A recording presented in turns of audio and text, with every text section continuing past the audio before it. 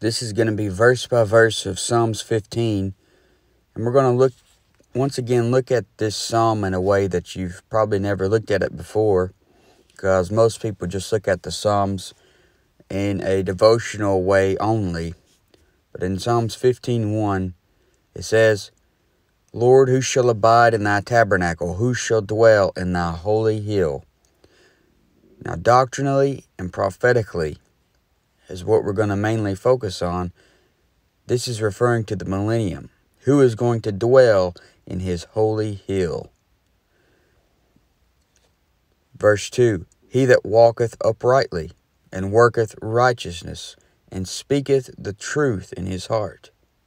So if you look at these in the prophetic sense, then imagine a believer in the tribulation time period. Is he going to abide in the doctrine of Christ? Is he going to keep the commandments and the faith of Jesus Christ so that he can so that he'll be walking uprightly, working righteousness and speaking the truth in his heart? As it says in Revelation 14:12 referring to the people the saints who are in the tribulation. Here's the patience of the saints. Here are they that keep the commandments of God and the faith of Jesus. So in the tribulation, if you are going to go into the millennium, to abide in the tabernacle and dwell in his holy hill, then you have to endure unto the end without giving into the Antichrist system. Now, this isn't talking about us. We're born again believers in the church age. We're not going through the tribulation when the tribulation is going on, we're going to be with the Lord because we've done been raptured out. But these saints in the tribulation, if they're going to go into the millennium, is what we're referring to. So why do they have to keep the commandments? As Revelation 14 says. Think about the commandments for a minute. If you think that sounds far-fetched. Exodus 20, 3 through 4 says, Thou shalt have no other gods before me. Thou shalt not make unto thee any graven image, or any likeness of anything that is in heaven above, or that is in the earth beneath, or that is in the water under the earth. So if you go after the Antichrist, then you are having a God before Jesus Christ. If you worship the beast in his image, then you are setting up a graven image. And that's what many people are going to do in the tribulation. They're going to go after the Antichrist and then they're putting a God before Jesus Christ. If you worship the beast in his image, then you're setting up a graven image. Already going against two commandments there. Then Exodus 20 and verse 7 Thou shalt not take the name of the Lord thy God in vain, for the Lord will not hold him guiltless that taketh his name in vain. Do you know what the Antichrist will do when he sits in the temple? He's going to blaspheme God and take his name in vain. In Revelation 13, 5 and 6, it says, There was given unto him a mouth speaking great things and blasphemies, and power was given unto him to continue forty and two months. And he opened his mouth in blasphemy against God, to blaspheme his name and his tabernacle, and them that dwell in heaven. So, if the people in the tribulation, if they worship this man of sin, they do the same thing. They're partaker of his evil deeds uh, Exodus 20 and verse 8, remember the Sabbath day to keep it holy. You say, well, what about that commandment there? You can't tell me that this one matters in the tribulation. I admit that we're not under the Sabbath today. Paul plainly tells us in Colossians that let no man judge you in meat or in drink or in respect of an holy day or of the new moons or of the Sabbath days. We don't have to keep the Sabbath. Jesus Christ is our Sabbath and he keeps us. We don't keep the Sabbath. Our Sabbath keeps us.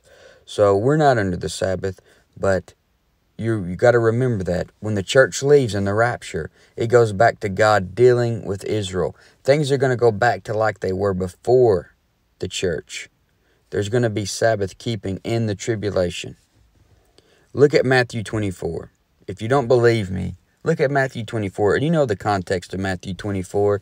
It's God talking to the, the disciples after they ask him the question, What shall be thy sign of thy coming and of the end of the world? That's the context. The end of the world, the tribulation. Matthew 24, 20 through 21. But pray ye that your flight be not in the winter, neither on the Sabbath day. For then shall be great tribulation, such as was not since the beginning of the world to this time, no nor ever shall be. So the Sabbath comes back, if you believe the Bible. Exodus 20:12. Let's look at another one. Honor thy father and thy mother, that thy days may be long upon the land which the Lord thy God giveth thee. So did you know that the Antichrist system, you're going to have to sell out your own family, your own parents and siblings. In the trib, you're going to need to be like Rahab who hides the spies, pretty much. A saint in the tribulation should give his own life before he sells out his parents or even some random Jew to the Antichrist henchman. Honor thy father and thy mother. That's going to apply in the tribulation. It applies today. I mean, and even all these commandments apply today. Uh, they have nothing to do with whether or not we're going to heaven. We're not saved by works. But a lot of people think, well, the Ten Commandments, that's just Old Testament. No, the Ten Commandments, other than the Sabbath day, they're all for today. And you should abide by those Ten Commandments. And then in the tribulation, it, it, it goes even a step further. Because as you've already seen in Revelation chapter 14, that verse I showed you, and you clearly see in Psalms 15 that to get into the millennium, these people are going to have to keep the commandments. And I'm showing you why right now. But Exodus 20 and verse 13, it says, Thou shalt not kill. Jesus said in Matthew 24, and referring to the end of the world, because iniquity shall abound, the love of many shall wax cold. People in the tribulation are going to be able to kill you for no reason in the tribulation. I mean, they're already, it's already starting to go that way, even in America here. You see, these people are just doing what they want to do. In the tribulation, it's going to be like the Purge movie, is what it's going to be like. Uh, Exodus 20:14 it says thou shalt not commit adultery in the tribulation there will be Jezebel seducing men to commit adultery Revelation 2.22 it says, Behold, I will cast her into a bed, and them that commit adultery with her into great tribulation, except they repent of their deeds. So those saints will have to turn from that temptation. This isn't just physical adultery. It's spiritual. If they fall away from the truth and turn to the Antichrist system, then they commit spiritual adultery. Revelation 2.20 Notwithstanding, I have a few things against thee, because thou sufferest that woman Jezebel, which calleth herself a prophetess, to teach and to induce my servants to commit fornication, and to eat things sacrificed unto idols. Exodus 20:15. Thou shalt not steal.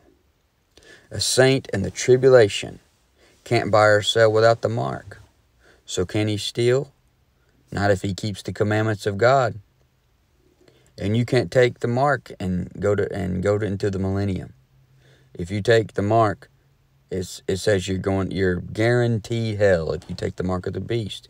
That's the big thing here is that mark of the beast. You see, there's nothing in this age that we're living in right now that can that I can do that can make me lose my salvation. Nothing. I'm eternally secure uh, there's nothing that the government can say that I must do or force me to do that if I do it, I will lose my salvation. Uh, people talk about they are the mark of the beast is already here, and if I got a chip in, then that's the mark of the beast. Look, I don't want to have a chip in, but if they made it mandatory today to put a chip in, I wouldn't go to hell for if if they made me do it because that's not the mark of the beast. The mark of the beast doesn't show up until the church leaves. And I'm part of the church, and if you're saved, you're part of the church. So really, you shouldn't be worried about taking the mark because it's not going to come while you're here. But it's these saints in the tribulation. They can't buy or sell without the mark. So the only way they're going to get food is if God gives it to them in some form or fashion, or if they steal it they're going to have to wait on God if they want to go into the millennium. Uh, Exodus 2016 through 17. Thou shalt not bear false witness against thy neighbor. Thou shalt not covet thy neighbor's house. Thou shalt not covet thy neighbor's wife, nor his manservant, nor his maidservant, nor his ox, nor his ass, nor anything that is thy neighbor's. So why will a man take the mark? Because he's covetous. This just said, Thou shalt not covet. He will want something that he shouldn't have, and he'll do whatever it takes to get it, even if it's taking the mark of the beast and worshiping worshiping him. And if he does that, he's not walking uprightly, as it says to do in Psalms 15:2, and he's not going to dwell in his holy hill. A born again Christian today, if that's what you are, if you believe the gospel, you are going into the kingdom no matter what. No matter what you say or do. Now, you should live right. I'm not telling you you have a free pass to do whatever you want to. You ought to live right. But a Christian today, you're going into the kingdom no matter what. You're part of the body of Christ. If you were to lose your salvation, you would have to be amputated from the Lord's body, and that's not going to happen. Now, if you're a born again Christian who doesn't go by the commandments of God, then you won't inherit anything in the kingdom. When it comes to things like the Sabbath, that's for Israel. It's not for you. You don't have to worry about keeping the Sabbath. You don't have to do that. However, all these commandments that we've mentioned in the Old Testament against things like adultery, stealing, lying, worshiping something other than God, and so forth and so on, all of these things are something that are still applied to you. You aren't saved by works. You're not saved by keeping the law, but you still need to live right if you want to set up treasures in eternity. So Psalms 15:1 Lord, who shall abide in thy tabernacle? Who shall dwell in thy holy hill? If you are a born again Christian, then nothing can separate you from being a part of the body of Christ. But are you constantly living right and having your mind on Jesus Christ? Are you are you uh, acknowledging that your body is the temple of the Holy Ghost? Psalms 15:3 He that backbiteth not with his tongue, nor doeth evil to his neighbor, nor taketh up a reproach against his neighbor, so that's who's going to dwell in his holy hill. He that backbiteth not with his tongue, nor doeth evil to his neighbor, nor taketh up a reproach against his neighbor. This is a big one. Do you, referring back to you here in a practical sense, do you find yourself constantly backbiting someone? Galatians 5:15 says, "But if you bite and devour one another, take heed that you be not consumed one of another." Backbiters is listed in that long list of sins in Romans 1. The best thing to do is not talk bad about anyone, period. What good does it do anyway? It just it goes back around to the person eventually. It can hurt the person. It also most likely won't fix the problem you have with the person by talking bad about them. So he that backbiteth not with his tongue, nor doeth evil to his neighbor, nor taketh up a reproach against his neighbor. Imagine a world where men treated men like they want to be treated themselves. Aren't you glad that your parents didn't get an abortion? Would you like it if someone stole from you, lied to you, cheated with your wife, vandalized your property, talked bad behind your back? If you wouldn't like these things done to you, then why do you continue to do these things to other people? Why can't you get your own job, your own car, your own clothes, your own house, and your own wife? Go to work and leave people alone. Love thy neighbor as thyself. Why do you do evil to your neighbor? Everyone is on level ground. Nobody is better than anyone else. Every person has a right to live unless they take someone else's life. So why can't you mind your own business and quit hurting other people around you? If people would just have that mindset, uh, you wouldn't have to lock your door at night. But people don't have that mindset. They backbite with their tongue. They do evil to their neighbor. They take up reproach against their neighbor. The saint in the tribulation, if the saint in the tribulation does these things, he's not walking uprightly. It plainly says it. You think I'm just, I'm just speaking uh, uh, my own ideas here, but it's what it plainly says Lord, who shall abide in thy tabernacle? Who shall dwell in thy holy hill? And then it tells you who's going to. I mean, this isn't doctrinally to us. That's why it doesn't say he that believed on the Lord Jesus Christ. Uh, that's it's not to us doctrinal in the doctrinal sense here. We're going to get we're getting some little bit of practical application out of it. But it says, "Who shall abide in thy tabernacle? Who shall dwell in thy holy hill?" He that walketh uprightly and worketh righteousness and speaketh the truth in his heart. I mean, I'm going I'm going to be with the Lord Jesus Christ no matter what. Even if I didn't do these things, I'm going to be with Jesus Christ. But the saint in the tribulation, if he doesn't do these things, he's not going into the millennium. He that backbiteth not with his tongue, nor doeth evil to his neighbor, nor taketh up a reproach against his neighbor, and whose eyes a vile person is contemned. But he honoureth them that fear the Lord, he that sweareth to his own hurt and changeth not. So it says, In whose eyes a vile person is contemned. Extremely wicked men should not be looked at in a positive light by a saint. Titus 1 8 shows that we should be a lover of good men. Proverbs 2 talks about how we should walk in the way of good men. However, who are the men who are sought out the most today? The vile men. Today, being vile is glorified.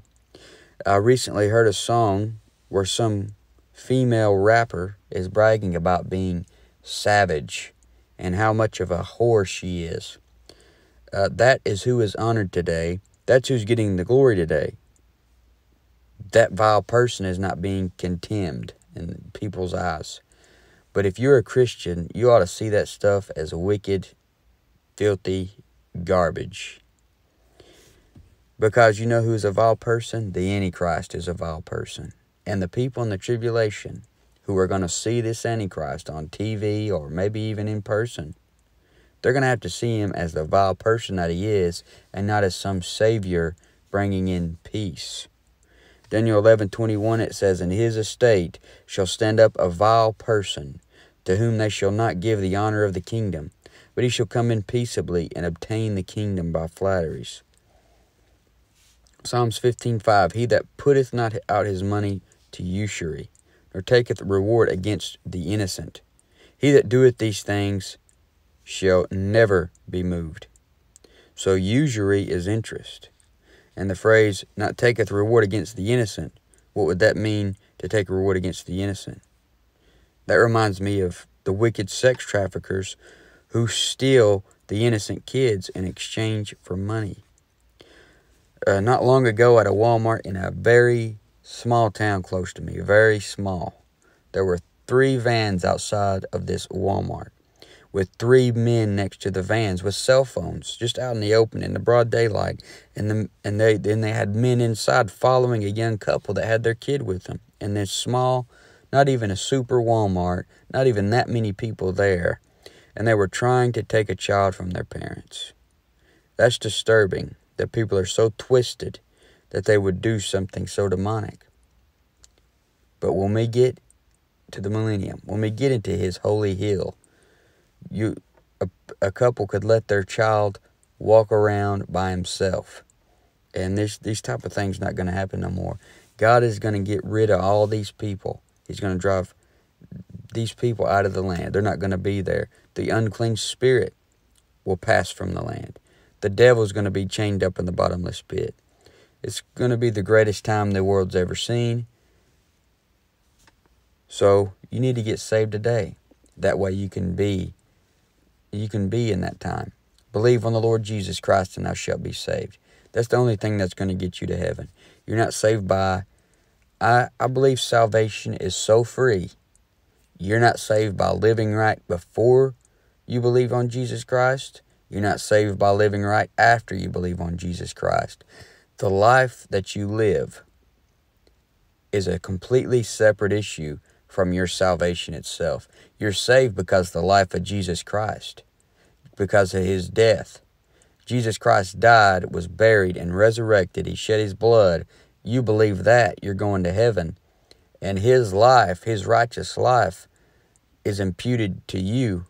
And that's what saves you. It's not your righteous life. I mean, whose record is on your permanent record? Do you think your righteousness is on your permanent record or something? I give the comparison all the time. Imagine there's a file cabinet in heaven. You got a folder uh, with your name on it. And before you got saved, it's got all the bad things wrote down that you've ever done and ever will do. But then when you get saved, God takes those files out of your file, uh, folder and puts in the Lord Jesus Christ's files, which has no sin on it. You got his righteousness, and that's why you get to go to heaven. You're not going to heaven because you deserve it. If you didn't deserve it before you were saved, how do you think you're going to deserve it after you're saved? You didn't deserve it to begin with, and you don't deserve it now. It's completely free.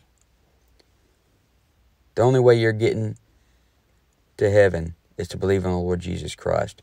The only way that you're going to go into the millennium and dwell in his holy hill is to believe on the Lord Jesus Christ. Now, for the saint in the tribulation, by these clear verses, it's a little bit of a different story.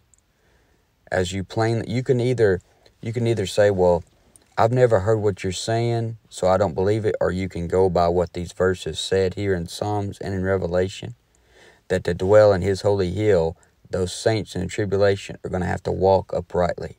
They're going to have to do all these things. You see, us, we we believed on the Lord Jesus Christ.